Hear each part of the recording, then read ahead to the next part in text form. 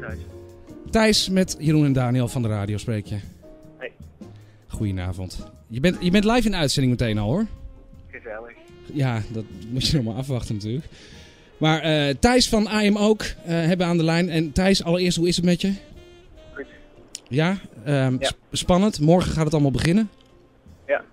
Inderdaad. Wat gaat er morgen allemaal beginnen? Eh, morgen vertrekken we naar Luxemburg. Mhm. En vanuit daar gaan we naar Zwitserland en daarna naar Duitsland. Ja, een, een internationale tour. Is dat, eh, is dat eh, voor het eerst dat je over de landsgrenzen gaat? Eh, nee, dat niet, maar het is wel de eerste tour. Oké, oké. langer duurt dan een weekend. Oké. ja, want je hebt natuurlijk ook, ook, ook jij hebt, we hebben natuurlijk de Secret Love Parade hier live in de show. Ook jij hebt een, een, een rollercoaster weekend gehad, hè? Afgelopen weekend. Ja, daar stonden jullie natuurlijk ook. En ik vroeg het net ook al aan de dames. Thijs, heb jij de recensies ook gelezen? Ehm, ik heb iets gezien op 3 voor 12. Nou, dat was wel een goede volgens mij. Ja. Alleen ze vonden ons te grappig of zo. Ja, ja, je moet, ja weet je, ik, ik las ook iets van... ehm, het publiek blijft bij de les. Nou, daar dacht ik al van, ja, dat kan al bijna niet. Want je, je hebt toch Nederlands publiek voor je snuffert. Maar te grappig, ja. da- Daardoor, werden je, de, ja, daardoor werd de show misschien wat minder zwaar. Dat gaven ze ook aan. Ja. Maar ja, maar volgens mij moeten ze juist helemaal meegaan in de show van IM ook, toch? Ik bedoel, van begin tot eind. Dat, dat is nou juist het verhaal, volgens mij, of niet? Ik denk het. En Thijs, je moet, ik, kan je echt, kan je echt heel slecht verstaan. Ik weet het niet. Nou, ik kan je goed verstaan, dus. Kijk, nou maar dit is, dit is al beter. Nou kunnen we jou tenminste ook horen. Ja, ik zit in de auto, dus misschien dat het eh, varieert. Oké, oké, oké. Ja, Thijs, wij spraken elkaar bij de Snowstar Label Night. Het was ook een, eh, een avondje in de Forstin in Hilversum. Het was een leuke avond. Fijne optredens van Bart van der Lee, de Secret Love Parade, I Am ook onder andere. En keihard Kensington. Ehm, maar ik heb naar jou, eh, eh, of naar jullie zitten luisteren ook. En, en ja, je hebt het dan ook wel over de humor. Maar ik moet zeggen dat ik, ik zat gewoon stil en geboeid te kijken. En, en misschien hoor je dat ook van meerdere mensen. Maar je gaat gewoon mee in de liedjes. Je gaat gewoon heen en weer deinen op een of andere manier. Is dat, is dat ook wat je, wil, wat, ja, wat je teweeg wil brengen? Nou, dat is niet per se wat ik teweeg wil brengen of zo, maar dat, dat gebeurt blijkbaar inderdaad gewoon. Mhm. Dat hoor ik ook vaker. En eh, op zich vind ik dat geen verkeerd eh, gegeven of zo. Nee. Dat is natuurlijk wel prettig als het publiek, ehm, ja, als dat gebeurt, als ze meegaan in, eh, in de muziek. Ja. Ja, maar dat is denk ik ook typisch wat het, wat het hele album On Clause, ehm, ja, waar dat voor moet zorgen, denk ik. Is, dat, eh, is Noorderslag overigens voor jou ook, hoe is dat voor jou geweest? Want, want ehm, ik hoorde net de dames ook wel spreken van, ja, het, het, is, het is echt eigenlijk een gekkenhuis van, van, nou ja, enerzijds labels, producers, maar ook bands, publiek. Je wordt van de ene naar de andere kant eh, gegooid. Eh, hoe heb jij dat ervaren afgelopen weekend?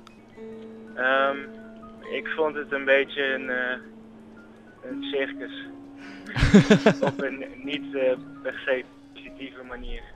Oké, oké, Maar ook niet, niet zozeer negatief. oké. We hadden een leuke show en onze zaal was heel leuk. We hadden, er was een soort kerkje gebouwd op de patio. En, eh, en dat was best wel een mooi intiem zaaltje of zo geworden. Dus dat was heel leuk. Alleen alles wat er omheen zat was een beetje vervelend, vond ik. En dan heb je het over het publiek of? Eh, ja, en de mensen die daar rondlopen en, en denken dat ze belangrijk zijn en verstand hebben van muziek en zo. Dat sfeertje er een beetje. Vond ik. Dat spreekt me niet zozeer aan. Maar, Want eigenlijk hoor ik ook van jou dat jij eh, eigenlijk helemaal niet vindt dat IM ook daar moet staan op Noorderslag. Ehm, nou, ik, ik, ik heb er niet zoveel mee, maar blijkbaar moet je daar staan om een soort van serieus genomen te worden. En is het, is het ook een soort compliment of zo als je daar staat. Dus wat dat betreft eh, vond ik het leuk om daar te zijn. Maar Mhm. Verder heb ik er niet zoveel mee. Want wat is wel jouw manier dan om jouw platen ehm, ja, bij de mensen te krijgen? Om, om, eh, om jouw muziek bekend te krijgen? Of... Ehm, ik weet niet, ja, gewoon spelen. Dus Mhm. wat dat betreft was het ook gewoon eh, weer een gewone show. Mhm. waarbij je ho- hopelijk mensen hebt kunnen bereiken. Nieuwe mensen die de muziek nog niet kenden ook. En mensen die het al wel kenden en die, in, die benieuwd zijn naar hoe het live is. Ja. Ik denk dat vooral live spelen is heel belangrijk.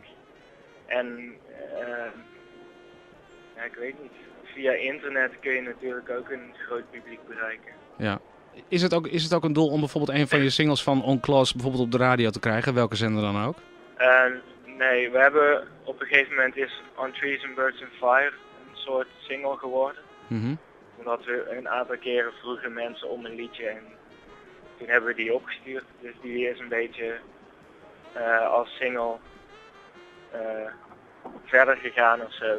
Mhm. Maar het is niet zo dat we echt heel bewust promo's naar, naar radiozenders hebben gestuurd of zo met die single daarop. Maar Nee, het is een beetje gewoon uit zichzelf is het opgepikt of zo. ja. Dus dat is wel leuk.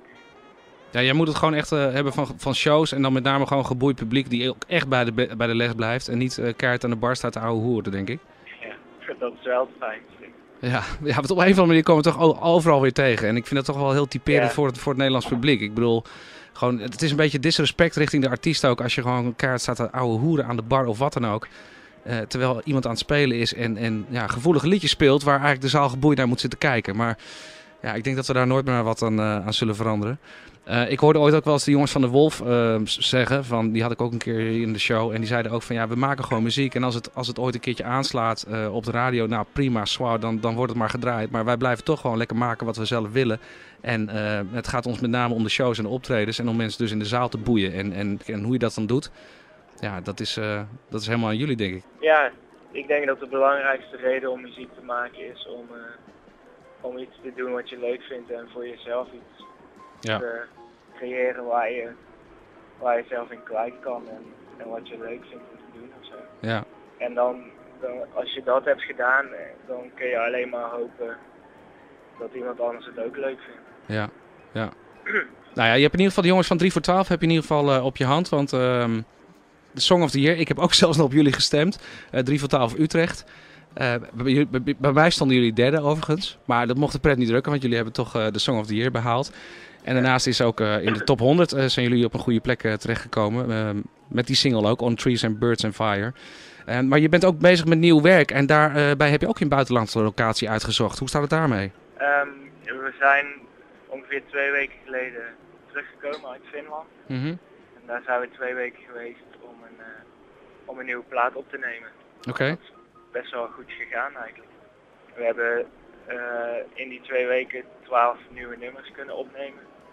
Die, die al bijna af zijn. Er moeten nog wat kleine dingetjes eh aangedaan worden waar we niet aan toegekomen waren. Oké.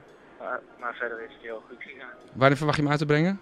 Eh, waarschijnlijk na de zomer. Heb je al een titel voor de, voor de plaat? Nee. Nou, dat zeggen we het zo meteen maar even als we, als we, als we, als we je plaat gaan draaien. In ieder geval van Onclose. Thijs, eh, ik vond het leuk om even eh, met je gesproken te hebben. Ik wens je vanaf morgen in ieder geval eh, veel succes met de tour die je gaat doen door Luxemburg, Duitsland en drie landen, toch? Hè? Oh, Zwitserland, ja, tuurlijk.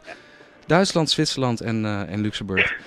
We gaan On Trees and Birds and Fire draaien. En we gaan jullie in de gaten houden, zo stilletjes op de achtergrond. Leuk. Ja, Goed aan eh Secret Love Parade. gaan we doen. Bij deze. En, Dames? Groeten terug. Ja. Groeten terug. Oké, Thijs, bedankt hè. Hoi. Hoi.